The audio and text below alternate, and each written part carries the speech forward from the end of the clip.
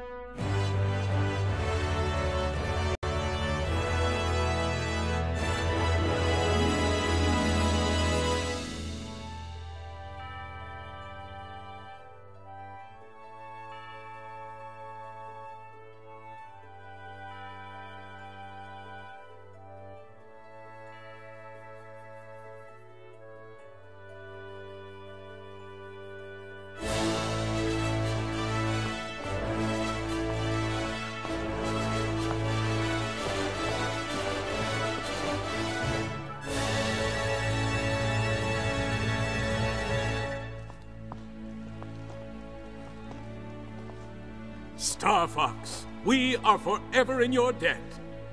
There's a place for you in the Cornerian army, if you want it. Sorry, General. We like doing things our own way.